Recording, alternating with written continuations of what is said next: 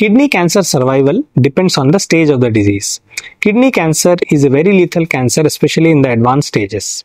But in the initial stages, the prognosis is very good and the survival rates are excellent.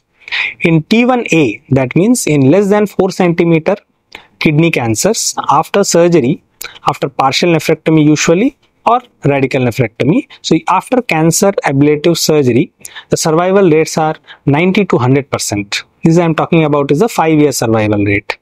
And as the stage progresses, the 5 year survival rate decreases. So the rapid change in survival is especially seen when the stage of the cancer is stage 3. At stage 3 cancer, the 5 year survival rate is about 60%.